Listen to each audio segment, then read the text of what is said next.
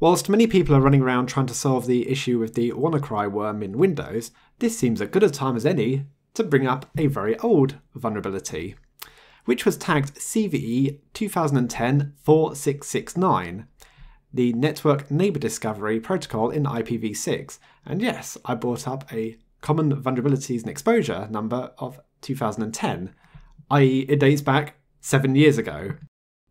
And this was an attack I demonstrated against Windows 8 in 2012. So surely Windows 10 can't be vulnerable, can it?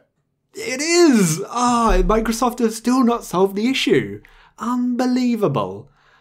So yeah, this same attack, it's, it can't knock out Windows as bad as before. So let me explain the attack. It works by sending thousands of spoofed IPv6 router addresses to a network. This attack requires you to be within a local area network. It doesn't work over the internet. So you send thousands upon thousands of fake IPv6 routers. And this dates back to Windows XP.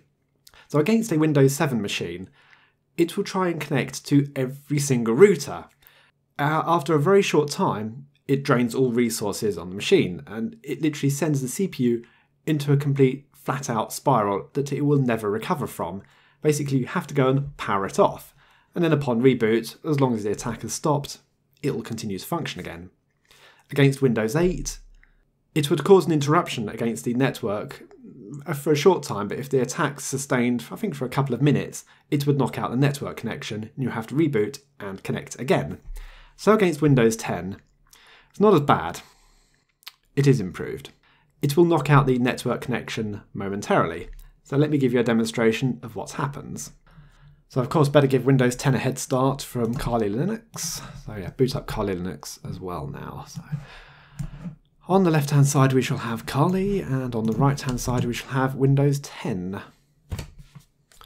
Hmm, perhaps what would have been intelligent to do was limit the CPU cores for each operating system because I think they're both going to take four CPU cores. And I need two for the screen recording, so I. And I've still not got around to ordering new hardware yet. Will happen, I'm hoping very soon.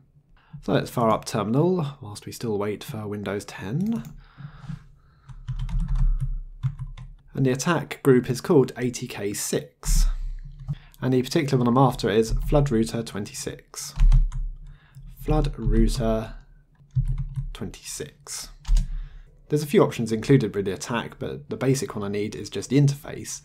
So I've got a wired network connection, and Windows 10 is also on a wired network connection. So let's open up the browser. Or I could open up the other um, browser in quotes and try out some internet browsing just to show everything is working. Oh, do hurry up, dear. Come on, it's very slow, isn't it? So, anything. Yes, so anything works in Google. Let's start the attack off. Oh, on. One last thing first. Let's get the task manager going. So here we are. Performance. Why is the disk going flat out? Anyway. Incidentally, Linux and Apple are not affected by the attack, and I believe from a bit of research that BSD has now fixed their vulnerability to the exploit. They're not vulnerable either.